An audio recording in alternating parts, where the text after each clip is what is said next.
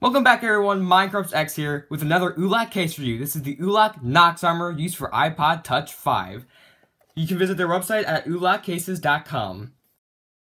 This was sent to me in the mail by ULAK Innovative Design, a passion for protecting your most prized possession. Maybe not most prized, definitely most valuable. Designed in Italy by ULAK and made in China. Now I can say just by looking at this, it looks impressive. So without anything further, time to check out the case. Now, when they called it Knox Armor, they meant Knox Armor. This does include an instructions booklet for how to install, which I'll be showing you how to do. Here, of course, before we begin, is my iPod 5, my gaming unit. There's that. So, let's go ahead and get this thing installed. Now, first, you're going to want to remove the inside plastic slip, which is actually... Oh, wow, that's like rubber. Alright, so following these step-by-step -step instructions, I will be showing you how to install this because you guys, we're both experiencing this together. After you remove this from the package, you're want to start by taking off this back plating for the stand. Now I'm to go ahead and show you how to install this thing. So you're to start by grabbing the back of the TPU. So, so. And it's not about applying pressure, but it's about applying pressure in a certain position.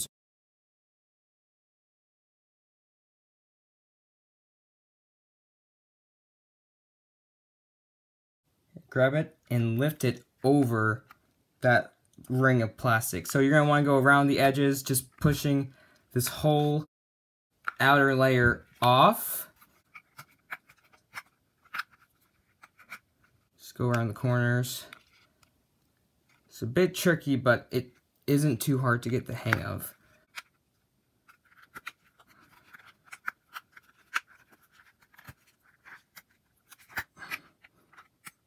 And hey, with this kind of difficulty, you know your iPod's in good hands.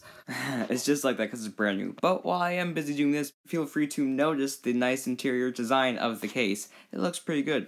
As I said later in the video, they didn't skimp on a single portion of this case.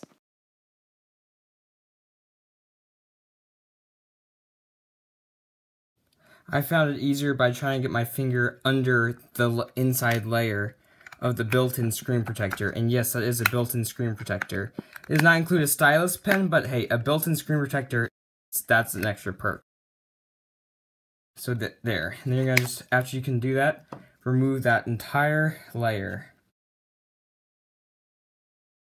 Now there are two layers, plastic layers. I peeled the first one off earlier. You're gonna wanna peel that off on the front and back of the built-in screen protector. And it's got like a cool little grid you can see all those dots. Anyway, you're to start by flipping your iPod into the front of the case. You're just to snap the corners in. You'll hear a noise. Okay, there we go. And then you're to start from one corner. Oops. And push that covering around the rest of it. You can lock these two two side knobs that lock in place. You're to want to lock those over and just pull pull the case over the sides of this and over the corners. Alright, so there we go. We're to go ahead and take a look at the main case first. The ULAK Knox Armor. When they said Knox Armor, they meant Knox Armor. This thing is just... It just looks tough.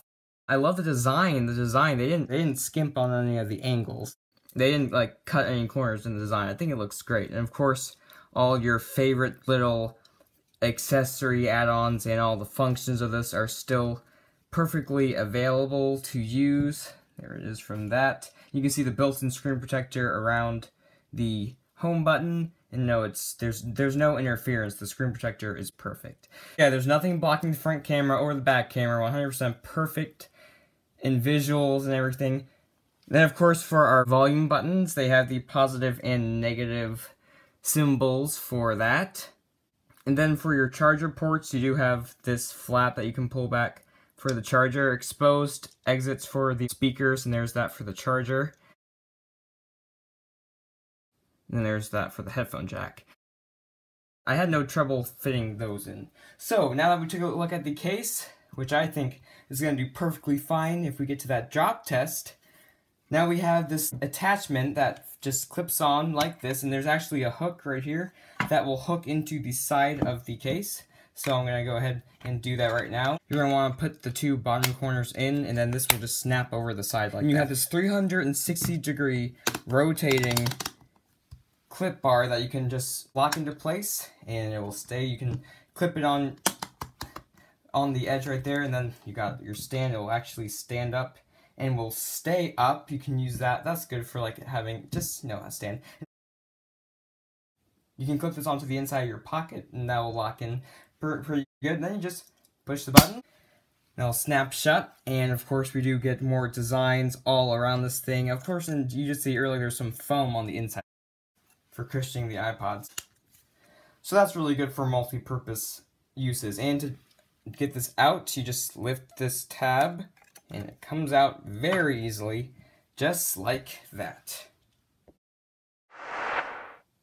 This will be end this video. I hope you enjoy watching this ULAK case review, the Knox Armor. You can get this for around 10 through $15 for many devices.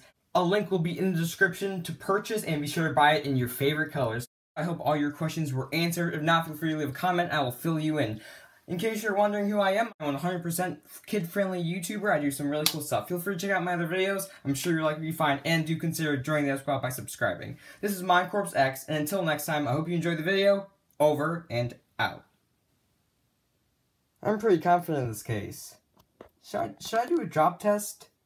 Uh, well, okay, tell you what. If this video gets to 50 likes, I will do an ULAK Knox Armor drop test. But, here's the catch for every dislike is minus one like. So if there are two likes and one dislike, there's only one like. So if we can get 50 positive likes, I will do a ULAK Knox Armor drop test. Though it probably may not be a smart thing to do. Oh, I should not have said that.